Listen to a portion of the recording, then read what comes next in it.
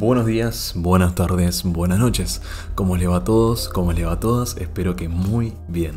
Bienvenidos nuevamente al canal, a los que no estaban suscritos, a los que se están recientemente suscribiendo y a los que ya me vienen escuchando hace un buen tiempo.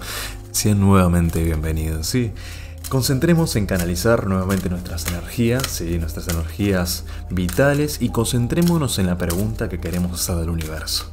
Vamos a tomar las cartas del tarot y vamos a utilizarlas para demostrar, quiero o no, en las áreas más importantes de la vida, como ya lo estuvimos trabajando anteriormente, el amor, la salud y el trabajo, y vamos a utilizar estas cartas para obtener un mensaje, sí, un mensaje del universo. Así que vamos a comenzar una vez estén bien barajadas estas cartas, ¿sí? Y vamos a comenzar con el amor. Vamos a sacar tres cartas para el amor. Tenemos cartas muy interesantes para el amor. Sí, tenemos al mago. El mago en el amor es una carta que representa la manifestación, sí, y la habilidad para poder crear una relación amorosa satisfactoria. Sí, tenés que seguir confiando en tus habilidades y utilizar esa mente analítica que tenés siempre para poder tomar decisiones sabias en el amor. Sí, utiliza esa capacidad de comunicación que tenés, esa adaptabilidad, sí, para poder construir una relación sólida, una relación armoniosa. La segunda carta que nos salió para el amor es la torre invertida. Sí.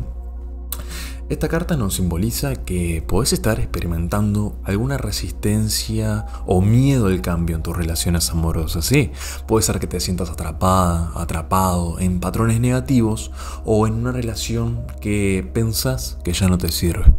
Es importante que te deshagas de las limitaciones y te permitas crecer, sí, permitite crecer en el ámbito del amor. Atrevete a soltar lo que ya no te brinda felicidad y abrí espacio ¿sí? para nuevas oportunidades amorosas. La tercera carta que nos salió es el 2 de copas invertido. Sí, lo que nos dice que puede haber algún cierto tipo de falta de armonía o algún falta, alguna falta de desequilibrio en tus relaciones amorosas, sí, en este preciso instante. Puede ser que te encontrás en un periodo de desacuerdo o un periodo de conflicto con tu pareja o tus seres queridos también. Es fundamental que busques una comunicación abierta, una comunicación sincera para poder resolver estos problemas, sí. Trabaja en fortalecer la conexión emocional y construir una relación basada en el respeto mutuo, sí. Vos tenés que agarrar y proyectarte a futuro que sí, con tus habilidades y con tu, la comunicación en sí, porque las relaciones muchas veces, y la, en realidad la mayoría de las veces se basan en la comunicación. Si ves que podés afrontar todos los obstáculos que hayan y realmente esa relación vos pensás que te va, te va, te va a nutrir, ¿por qué no llegar a esto? ¿Por qué no llegar a una relación que te, que te, que te haga feliz, que te brinde felicidad, paz? Así que vamos a ver y cuidadito con los obstáculos que pueden haber dentro de nuestras relaciones. Vamos a continuar con el trabajo, con la carrera, que ya no será la estrella, el 4 de copas invertido y el 6 de espadas, ¿sí? Bueno, la estrella en el trabajo, en el trabajo, en el área laboral, es una carta que simboliza el éxito, ¿sí? Es una carta que simboliza la inspiración, la esperanza en tu carrera, sí. Tenés que confiar en tu habilidad para alcanzar tus metas profesionales y tenés que seguir manteniendo una actitud optimista. Este es un momento favorable para establecerte nuevas metas y buscar oportunidades de crecer, oportunidades de crecimiento. Permitite brillar, permitite seguir persiguiendo tus sueños, sí. El 4 de copas invertido, sí, nos indica puede haber algún tipo de insatisfacción. ¿sí? Algún tipo de insatisfacción em, o falta de motivación en tu trabajo también. Puede ser que te sientas estancada, estancado o aburrido con las responsabilidades que estás teniendo actualmente. Sí, con esos objetivos que te estás poniendo, con esos objetivos que te están poniendo, sí. Es importante que sigas buscando inspiración, es importante que sigas buscando significado en tu trabajo. Explora nuevas áreas que te puedan interesar o considera, si tenés la posibilidad, buscar nuevas oportunidades laborales, sí, que te brinden a vos más satisfacción. Recordá que tenés el poder de crear, quieras o no, un trabajo que realmente ames. La tercera carta que nos salió para el trabajo es el 6 de espadas. Sí, el 6 de espadas nos dice que puede haber cierta resistencia al cambio.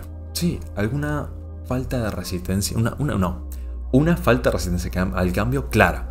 Sí, o ciertas dificultades en tu camino profesional en este momento, ¿sí? Hay una resistencia al cambio. Tú quieres ir para adelante, pero una resistencia que está empujando para atrás o estancándote completamente. Sí, puede ser que te enfrentes ahora mismo a obstáculos o retrasos en tus planes de carrera. Sí, pero no te desanimes, no te desanimes. Utiliza esta situación, sí, como una oportunidad para poder aprender y para poder crecer. Ajusta tu enfoque, busca soluciones, sí, para salir de esta de este momento de de que estás estancada, de que estás estancado, ¿sí? busca soluciones creativas para poder superar cualquier desafío. Vos podés superar cualquier desafío. Bueno, vamos a finalizar con la salud. Sí, ¿qué nos tiene que decir el universo para la salud? Y tenemos cartas prometedoras y con un mensaje, un mensaje fuertísimo. Bien, el as de copas para la salud, sí, simboliza un nuevo comienzo emocional. Sí, un equilibrio en tu bienestar físico y tu bienestar mental. Sí, aprovecha este momento. ¿Para qué? Para conectarte contigo misma, contigo mismo y cuidar de tu salud integral, sí, completamente. Escuchar las necesidades de tu cuerpo, escuchar las necesidades de tu mente, sí, y buscar formas de equilibrar tu energía. La segunda carta que nos salió es el caballo de espadas, sí. Puede haber cierta tendencia a la autocrítica, puede haber alguna preocupación excesiva ¿sí? en relación a tu salud. Puede ser que te encontrás sobrepasado por las propias expectativas que se hace uno mismo o por alguna presión que nos viene de afuera. Sí, alguna presión que nos viene de afuera. Acordate la importancia de mantener una actitud compasiva contigo misma, ¿sí? Contigo mismo. No te sobrefuerces, ¿sí? Está bueno a veces sobreforzarse, pero muchas veces eso, eso lleva un estrés que no, no está bueno para uno mismo. Acepta tus imperfecciones, busca un enfoque equilibrado en tu bienestar. El 8 de oros, invertido, que fue la última carta que nos salió para la salud y para esta tirada, nos dice que puede haber alguna falta de atención ¿sí? alguna falta de atención o algún desequilibrio en tu cuidado personal ¿sí? en este momento. Puede ser que te estás descuidando vos misma, ¿sí? a vos mismo, en favor de tus relaciones laborales, ¿sí? en favor de tus relaciones laborales, en favor de tus relaciones personales. ¿sí?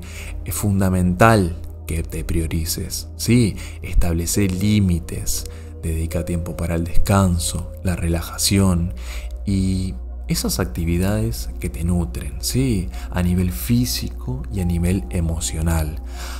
Acordate, como siempre, sí, que estas cartas son una guía, son una guía. Y que nos dieron un mensaje fuertísimo, ¿verdad? si te gustaron y te, te, resonaron contigo, me gustaría que como siempre lo deje en la caja de comentarios, ¿sí? Y acuérdate que estas cartas son una guía, son una guía para tu crecimiento personal, pero sos vos, siempre vos, y como siempre lo digo, quien tiene el poder de tomar decisiones y darle forma a tu destino. Te deseo lo mejor en tu camino. Te agradezco el haberme escuchado y espero que la tirada de cartas que acabas de escuchar sea de utilidad para vos y para tu vida. Agradecería también que te suscribas y si te gustó el video le des like y lo compartas. Soy Germán Rodríguez, nos estaremos hablando mañana, así que bendita o bendito seas.